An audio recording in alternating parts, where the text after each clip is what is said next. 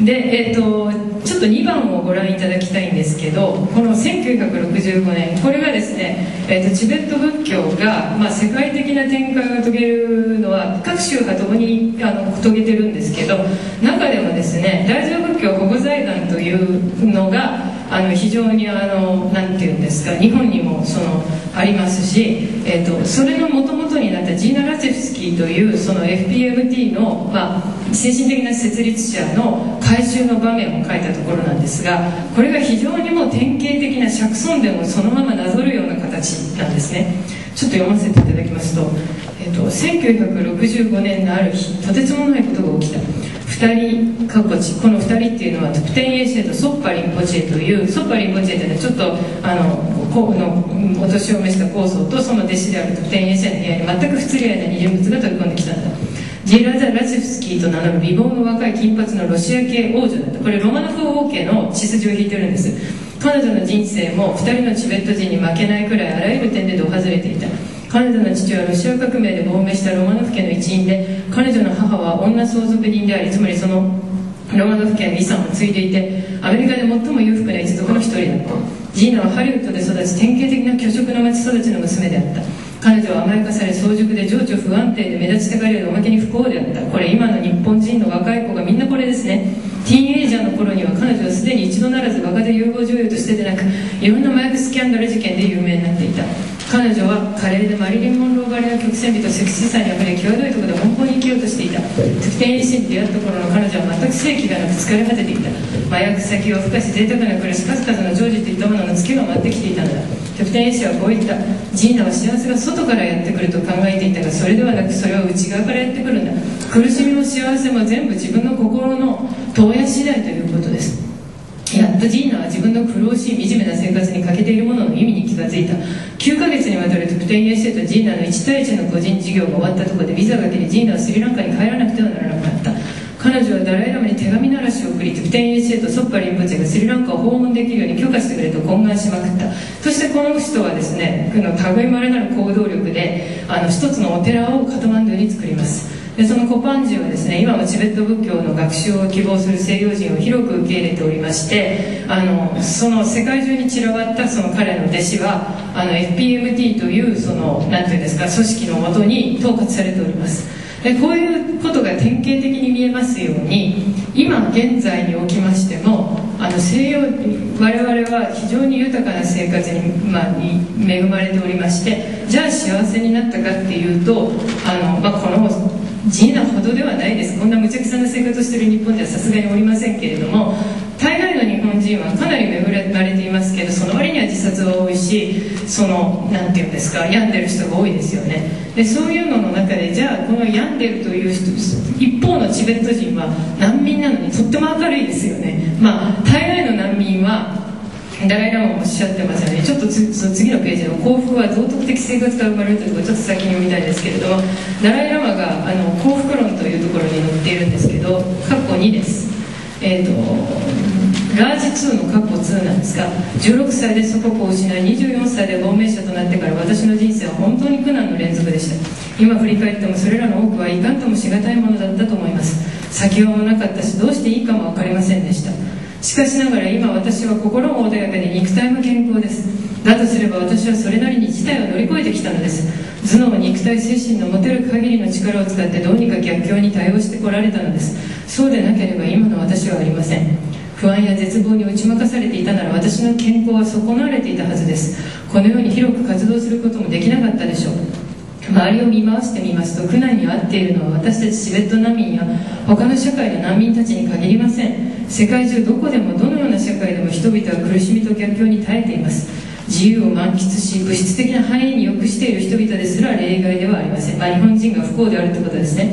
私には私たち人間が苦しんでいる不幸のほとんどは自ら作り出したものではないかと思えるのです。ですから原則として不幸は少なくとも避けることができます。さらに総じて道徳的な生活を送っている人はそうでない人よりも幸せそうで満たされているように見えます。とありますようにですね。あのこの半世紀ダライ・ラマ法はですねその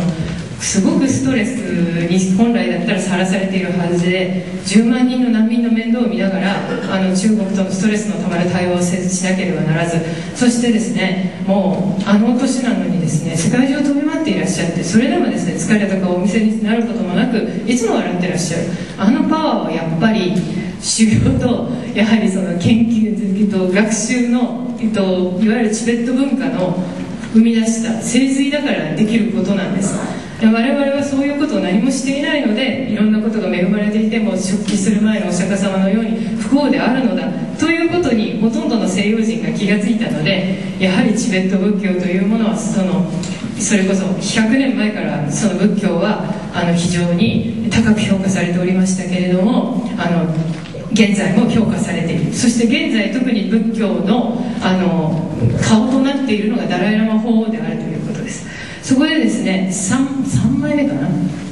えーと、2枚目2枚目にダライ・ラマの仏教哲学というのを短くまとめておきました。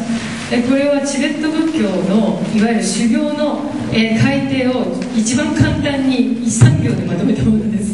えーと、それはですね人間というものは、まあ、修行しないうちちょっと修行を始める。それからその修行を極めた結果人を救うことができるようになった状態は上中下に分かれるんです。で我々はもちろん我々って言っちゃいけない。もっと研究してる人もいますから、えーと、私は少なくとも下です。で下っていうのはどういう状態かと申しますと,、えーと来世良くなったらいいなみたいなそのお金持ちに生まれたりとか、えーと、楽して生きていきたいとか もっといいあのなんていうかその人生を生きたいとかいうそういうことを得るために仏教を志す。で中が実はこのもう来世なんていうんじゃなくてこの輪廻自体が苦しみであるというふうに認めてそこから出ていく。この方がもうちょっとレベルが高いです。でところがただ出ただけじゃなくて、えーと、その人々を救うために自分のその持っているものを捧げようというつもりで戻ってくる人が一番上等な人たちであると。でこれ気をつけなければいけないのは下と中を経て大にならなきゃいけないことで大だけを急に始めてもできないということなんですけれどもその修行が一番そのレベルの低い人はまず帰依をする。それから中は山岳戒律を守り瞑想をしその結果しようで大師が今度は人を愛さなければいけないわけです。でここでですねいわゆるそのダライ・ラマ法王が世界中でいろいろ説いているいわゆる人を愛するためのテクニック自分の心をどうやったらばエゴのにとらわれた状態からできるだけ人を愛する状態に変えられるかという具体的なテクニックがこれもう14もっと前からですけど説かれてます。2種類。その一つがそこに挙げました星印1と星印2でこれはですね現在もチベットのお坊さんそれからチベットの方たちが、えーと、ちょっと意識の高い方高い方はみんなこれを毎日やってます。それは一言で言いますと、まあ、自分の身の回りにあるいる人たちを全て自分の母親のように思う。それは輪廻というものは始まりのない昔から無限回繰り返されているわけですから全ての人々は自分の母親だったことがあるはずであるでそういう人たちには恩を返さなければいけないという考え方です。でそのために母の恩を思いそしてその恩に報いようと思いそしてですね全ての自分の身の回りにいる生き物に対してこれは動物も含まれます、えーと、仏教のすごいところエコロジーなんです考え方が全ての自分の持ついいものを他人に与え全ての他人の苦しみを自分に引き受ける。特に5番が大切です。人の苦しみを自分のものとして他人を憐れむこと。そしてですね最終的に、えーと、全ての命あるものを救えるのは仏になるしかないと考えて他人のために仏を得ようの境地を得ようという心を起こすこと。でこれが重要で発菩提心というわけです。でこれ次がですね自分と他人を交換して考える瞑想なんですがこれもダライ・ラマ法は毎年毎年日本にいらっしゃって必ず説いていらっしゃいますけど、まあ一言で申しますと,、えーと、人間というものは誰しも自分の敵とか味方とか自分好きとか嫌いとか二者択一のものを考えますけれどもそういうふうなものの考え方を交換することによってその究極の幸せが得られるという考え方です。我々が幸せと考えていること目の前で美味しいものを食べるとか楽な生活をするとかそういうものは実は一時の気晴らしに過ぎないというのが仏教の考え方で永続する幸せというものは他者を愛してそして世界を変えていくことによって究極の幸せを得られると考えるんです。